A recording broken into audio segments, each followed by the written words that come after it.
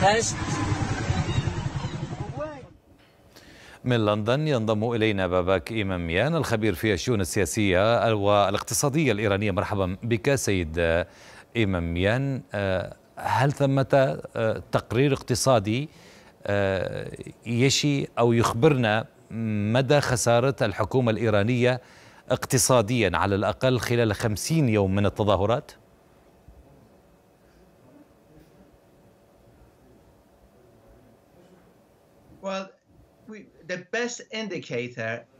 المؤشر الأفضل هو مستوى العملة فالعملة الإيرانية بالمقابلة الدولار الأمريكي كانت 30 ألف تومان وكانت قد وصلت إلى حوالي 35 ألف تومان مقابل الدولار الواحد. لذا فكان هناك انخفاض في قيمة العملة. هذا ليس مرده لأننا لا نبيع النفط فنحن نقوم ببيع النفط ونجبي الأموال. لأن هناك انفاقا أكثر من أموال البترودولار على قوة الأمن. في السابق كان هناك تقديرات تشير إلى أن هناك حاجة فقط إلى 10 مليون دولار يوميا. ولكن نظرا لكافة هذه الإضافات فإن الرقم قد قفز إلى 30 مليون دولار يوميا. لذا سنويا من 3.5 مليون قد صعد الرقم إلى 5 مليون. وإذا ما قامت إدارة الرئيس بايدن بإنفاذ العقوبات ومنع إيران من بيع النفط فإن الحكومة الإيرانية لن يكون لديها هذه الإحدى عشر مليار دولار لإنفاقها على القوات الأمنية سنويا.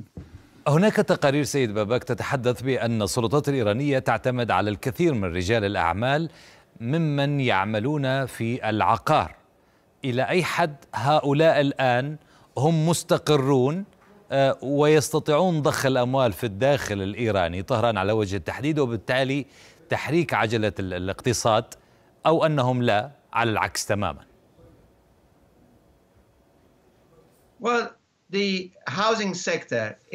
قطاع المساكن هو قطاع داخلي لأنه يعتمد على الإسمنت وعلى المعرفة والتقنية المحلية في البناء ولا يحتاج إلى تجارة دولية.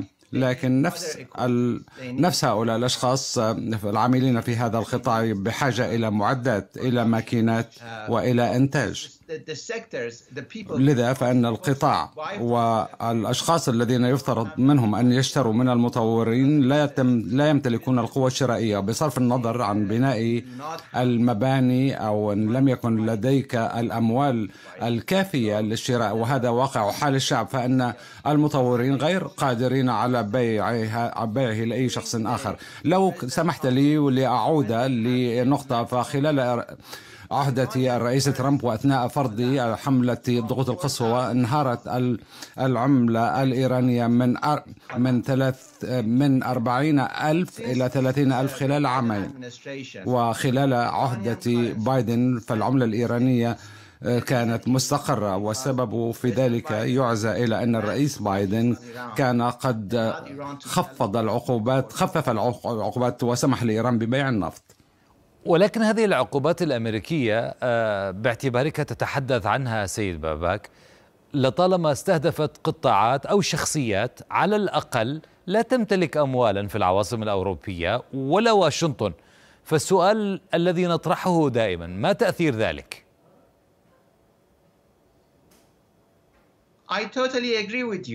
أتفق معك كليا. فهي ليست سوى كلمات وخطابات وورق على حبر.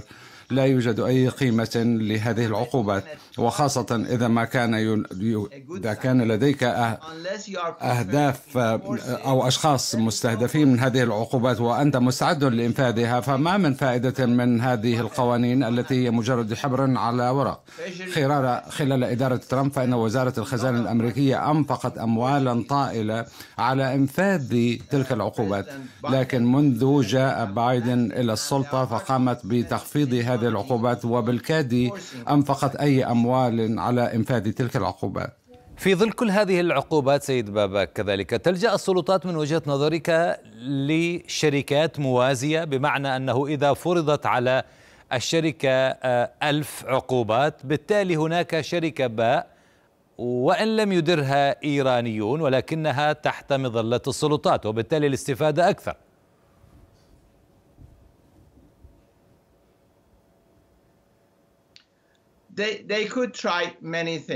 قد يسعى النظام إلى تجربة أشياء عدة. في نهاية الأمر الأمر كله يتوقف على إذا ما كان لدى الحكومة الإيرانية الأموال الكافية لإنفاقها لأن لأنهم بسبب هذه العقوبات فإن الحكومة الإيرانية بحاجة إلى الأموال وهي تفتقر لها.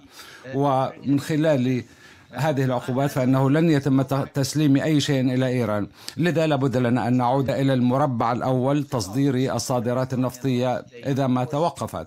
و...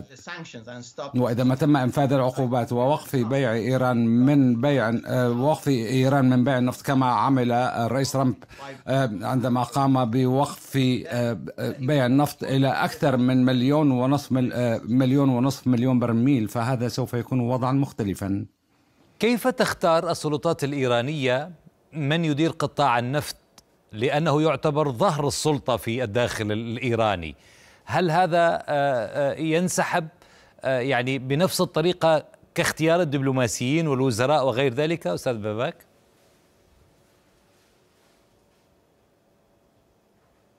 Well, فلننظر إلى واقع النظام الإيراني؟ فهذا النظام هو نظام ديكتاتوري ومن يقبع على رأسه علي خامنئي. المرشد الأعلى وبحكم شخصيته هو رجل مريض وقد تكون هذا فضيلة. لكن في أوقات الأزمات هذا هذا علامة ضعف لأنه في هذه الأوقات لابد من اتخاذ قرارات صعبة وهو عاجز عن اتخاذ هذه القرارات. والآن على سبيل المثال البرلمان الإيراني كان قد أرسل خطابا. إلى هيئة القضاء الإيرانية يطلب منه أن يقوم بالسماح بإنزال أحكام أعدام جماعية بالمحتجين بوصفهم أعداء الله. وقد استلمت هيئة القضاء هذه الرسالة من البرلمان الإيراني لتقول حسنا إن البرلمان والذي يمثل الشعب لذا فإن الشعب يرغب منا أو يريد منا أن نقوم بأن بتنفيذ هذه الإعدامات الجماعية بحق المتظاهرين هذا ما يحدث هذا هو واقع الحال في إيران وهو مؤسف للغاية. شكرا جزيلا لك من لندن من لندن بابك إماميان الخبير في الشؤون السياسية والاقتصادية الإيرانية.